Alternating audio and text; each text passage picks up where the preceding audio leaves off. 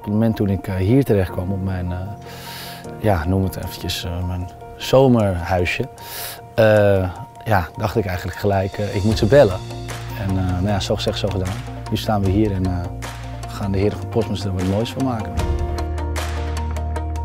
Het is eigenlijk al een, verder een hele mooie tuin, maar het zijn eigenlijk wat dingen, finishing touch. Er komen wat tegels, er komt een mooie wand voor wat meer privacy.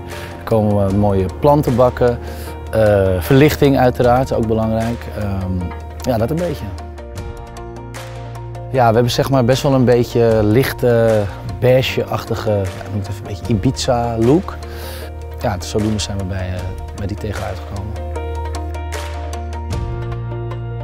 Ja, op de computer wordt het allemaal zo snel uh, getekend. Het zag de tekening al zo echt uit.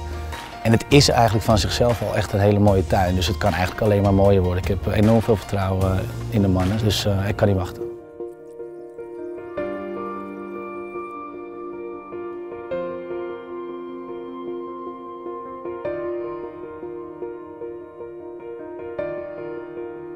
Heren, kom verder. Nou, bij deze dus hoe het is geworden. Het eetgedeelte met uh, die prachtige mooie houten tafel en die heerlijke, heerlijke stoelen.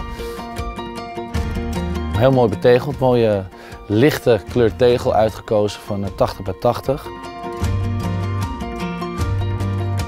Twee heerlijke lichtbedden.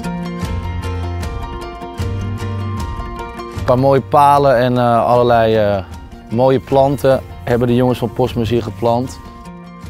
En hier ja, de triomf van de tuin, de olijfboom. Ook super blij mee, echt een eyecatcher. Hier zit ik heel graag. En ook hier uiteraard uh, een mooie parasol erbij.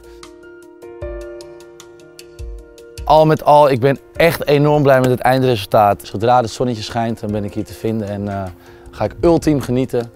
Bedankt boys.